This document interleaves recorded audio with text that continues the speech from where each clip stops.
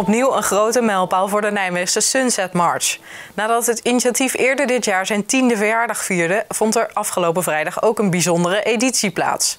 Luitenant-generaal Jans Willens liep de herdenkingswandeling mee als duizendse unieke veteraan. Elke avond tijdens zonsondergang gaan de lantaarnpalen van Stadsbrug de Oversteek één voor één aan. Precies snel genoeg om dit tempo lopend bij te houden.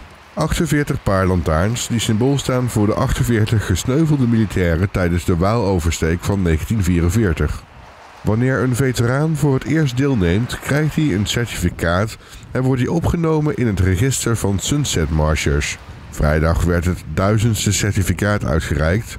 Iedereen mag de Sunset March elke dag meelopen, maar er loopt altijd tenminste één veteraan mee.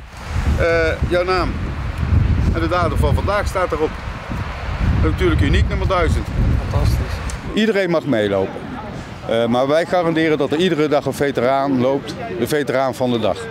En die kan ook vaker lopen natuurlijk. We hebben daarvoor een inschrijfsysteem, dat is op onze website uh, zichtbaar. En daar kunnen nieuwe veteranen ook uh, op inschrijven. Maar iedereen mag meelopen, dat is geen probleem. Swillens was blij verrast dat er vanwege dit bijzondere moment ook een aantal bijzondere deelnemers waren.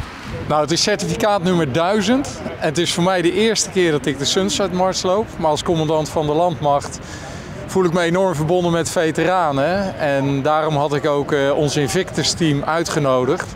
Ik had eigenlijk verwacht dat er misschien drie of vier Invictus leden zouden komen.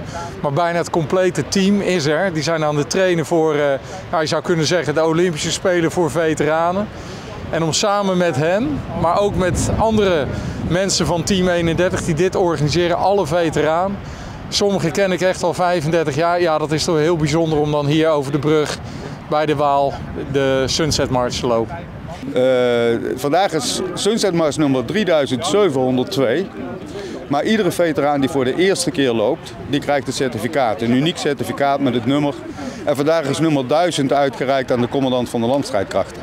Het blijft belangrijk om de helden uit 1944 te blijven herdenken. Zeker deze tijd, vindt ook Swillens. Nou, wat mensen denk ik steeds meer realiseren dat veiligheid en vrijheid dat dat niet voor niets is. En dat de krijgsmacht en ook de landmacht er uiteindelijk zijn om eh, te beschermen wat ons dierbaar is, onze manier van leven. En die, dat respect en die waardering vanuit de maatschappij is voor militairen heel belangrijk. En dat ervaar ik ook wel.